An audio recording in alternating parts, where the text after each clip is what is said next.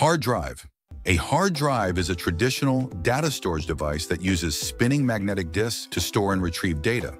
It works by using an actuator arm with a read or write head that moves across the platters to access information. And the surface of the platter is also coated with a magnetic material that allows data to be written on it. Hard drives are commonly used in desktops, laptops, and servers due to their large storage capacities and affordability. It usually comes with 500 gigabytes to 2 terabytes, or even bigger, and the speed of a hard drive is measured in RPM, with typical speeds being 5,400 RPM or 7,200 RPM, which is around 100 to 160 megabytes per second, though some high-performance ones can reach like 10,000 RPM or more. In terms of life expectancy, a hard drive lasts between 3 and 5 years. The most common causes of hard drive failure include frequent electricity outages, overheating, and mechanical wear and tear. And since it has a mechanical arm and a plate, physical shocks can definitely break it.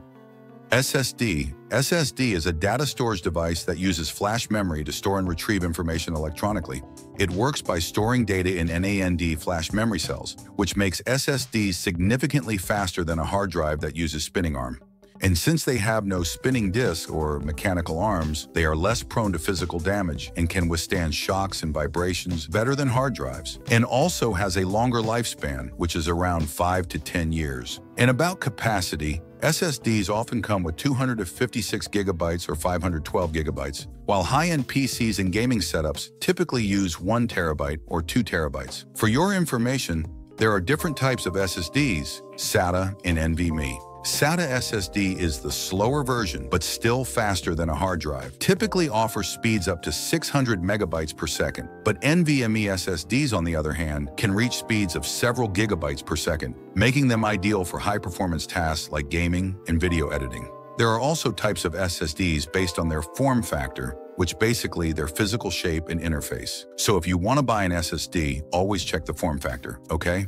Cloud storage. Cloud storage allows users to store and access data over the internet instead of on physical devices. It works by saving files on remote servers, typically of popular services like Google Drive, Dropbox, and iCloud. And then the data is encrypted and duplicated across multiple data centers in different cities. So if one data center fails because of natural disasters or something, your data is still safe and accessible from another location as long as you're connected to the internet. This safety and reliability make cloud storage widely used for backups, file sharing, and business data management but usually you have to pay some money for a subscription service if you want to use bigger storage. Oh yeah, there's another type of cloud storage, and that is Network Attached Storage, or NAS. This thing functions like the other services as well, but you get to own and manage everything. So the way this works is you put some hard drives into the available slots, and then it needs to be connected to a local network like Wi-Fi, which allows multiple users to access files remotely if they're in the same network. This way, you have a huge amount of storage without needing to subscribe to some cloud services. However, it requires you to do many configurations and maintenance like update. Also, since this thing needs to run 24-7, an electrical outage can either corrupt your data or even damage the drivers, so you need to put in extra effort and money to provide an uninterruptible power supply, which acts like a backup battery to prevent damage from sudden electrical outages.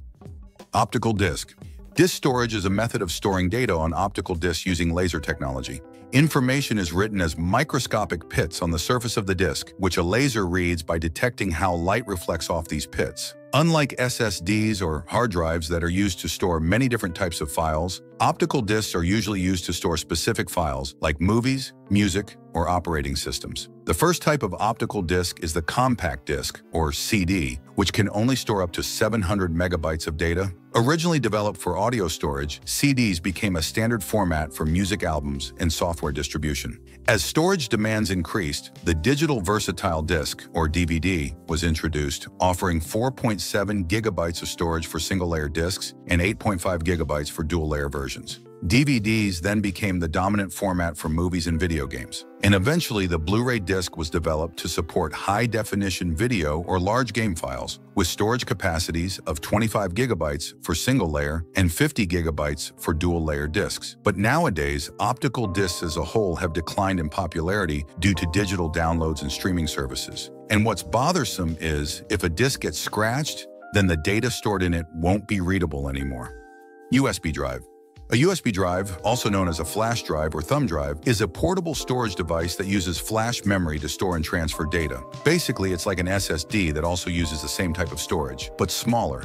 They connect to devices through a USB port, allowing users to quickly transfer files between computers and other compatible devices. USB drives come in different storage capacities, ranging from a few megabytes in early models to several gigabytes and even one terabyte in modern versions. The speed of a USB drive depends on its interface, with USB 2.0 offering speeds up to 480 megabits per second, while USB 3.0 and 3.1 can reach 5 gigabits per second to 10 gigabits per second.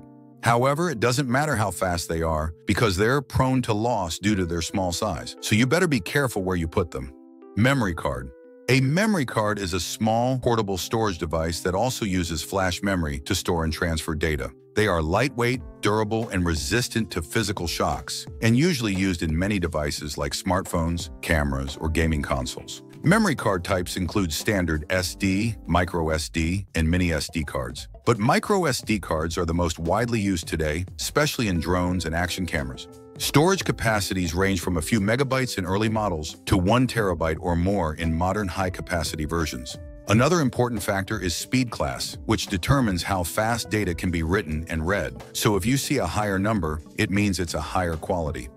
Floppy disk. A floppy disk is a magnetic storage device like hard drive that was widely used from the 1970s to the early 2000s. It consists of a thin, flexible magnetic disk enclosed in a plastic shell, which is inserted into a floppy drive for reading and writing. Floppy disks come in different sizes, but all of them could only hold 1.44 megabytes of data at max. Yet they became the standard for software distribution and document storage before USB drives and cloud storage took over. But despite being long outdated, floppy disks still live on in pop culture and memes. Many people joke about their tiny storage capacity or about the save file icon of video game as well. By the way, if you have a floppy disk, comment down below. Magnetic tape. A magnetic tape is a data storage medium that records information on a thin strip of magnetized plastic film. It was widely used in the 1950s to the early 2000s for data backups, archiving, and audio-video recording. Unlike modern storage devices, magnetic tape is sequential, meaning data is written and read in order, rather than randomly accessed like in hard drives or SSDs. This makes it slower for retrieving specific files, but highly efficient for storing large amounts of data. Despite being considered outdated, magnetic tape is still used in data centers of the IBM company. Government archives and large-scale backups also use it because of its low cost, high durability, and massive storage capacity. Even modern tape cartridges like Linear Tape Open can hold multiple terabytes of data and can last more than 30 years, making them ideal for long-term archival storage. And this is also the most secure data storage because it's not constantly connected to a network and it's not easily tampered with like the other data storage. Oh yeah, talking about security, I made a cool video about every type of computer virus, so don't forget to watch it, okay?